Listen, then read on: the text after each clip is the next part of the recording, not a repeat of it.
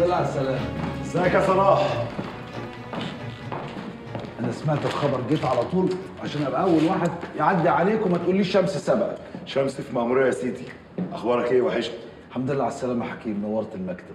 طب والله القيادة كلها بالرغم من إني باجي كل فين وفين إنما فعلا ومش مجاملة كانت مظلمة من غيرك. صادق يا صلاح. بس أنت عايز تقنعني اللي أنت ما كنتش عارف؟ في حاجة بتخفى على صلاح النصر شاكك أنت بس وحياتك ما أعرف أنا مشغول جدا في الأحداث اللي في الشارع والإشاعات اللي طالعة من كل ناحية. والرئيس عنده قلق من نشاط الأحزاب والرجعيين وفؤاد سراج الدين واجتماعاته. الظاهر إن السيناريو اللي حصل في سوريا ما بيفرقش خياله. يا صلاح طول ما أنا موجود في منصبي ما حدش يقدر يجي جنب البلد ولا جنب جمال ولا جنب الجيش. ولا أنت عندك شك؟ لا طبعا. وحشتني يا صلاح. أخبارك إيه وأخبار العيال؟ العالم كله يا ريس بيرصد خروجنا من أزمة الانفصال بترقب شديد. والحقيقة سيادتك أثبتت للجميع قدر عالي جدا من الثبات والتمكن بعد الانفصال.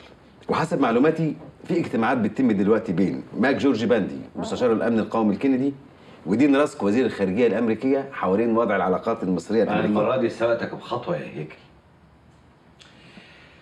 بعد اللي حصل ده كله أنا حسيت إنه هيبقى في تغيير في المواقف الأمريكية.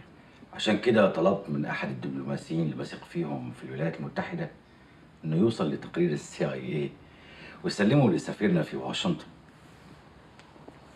سيادتك وصلت لتقرير المخابرات الأمريكية عنك من جوه أمريكا؟ عشان تعرف إنهم مش أذكى مننا في حاجة. دائما وأبدا تحيا مصر. التقرير ده للاطلاع وبس يا هيكل. أكيد يا فندم. بس تسمح لي سيادتك أكيد ليك ملحوظات أحب أسمعها من سيادتك. نمرة واحد الأمريكان فاكرين إن إحنا دلوقتي في موقف ضعيف بعد الانفصال. وإن إحنا خلاص هنستغني عن الفكر القومي بعد المرارة اللي حصدناها من تجربتنا في سوريا. وبالنسبة لهم ده أفضل توقيت إنهم يحددوا شكل العلاقة معانا. نمرة اتنين هم عارفين إنه في توتر في العلاقة بيننا وبين الاتحاد السوفيتي لأسباب كتيرة وعلى رأسها عبد الكريم قاسم وذاكرين ده في تقريرهم.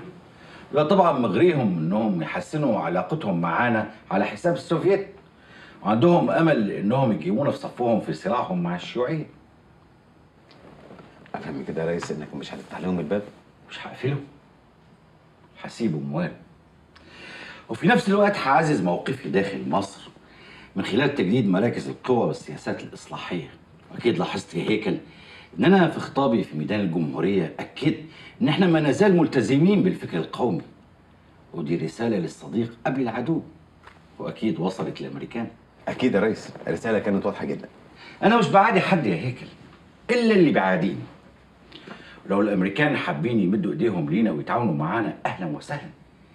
إنما التدخل في سياسات الجمهورية العربية واستخدامنا كآلة حرب ضد الشيوعية فده بقى بعيد عن منالهم. أنا اللي أقرر أواجه الأحزاب الشيوعية إزاي؟ تبعا للمصلحة الوطنية مش تبعا لمصلحة الأمريكان. اسمح لي سيادتك أنقل الصورة دي بطريقتي. أمال إحنا مجتمعين ليه؟ طب أنا بس منتظر قرارات سيادتك الداخلية. واضح من كلامك إن في سعي لمنهج جديد ومتطور وده أكتر شيء إحنا محتاجينه الأيام دي. هتسمع أخبار طيبة قريب جدا يا هيكل. ما افتكرش حد من الإخوة في مجلس قياده الثورة هيعترض على أي من الاقتراحات اللي هقدمها. بالعكس هتبقى مفاجأة كبيرة ليهم وللناس.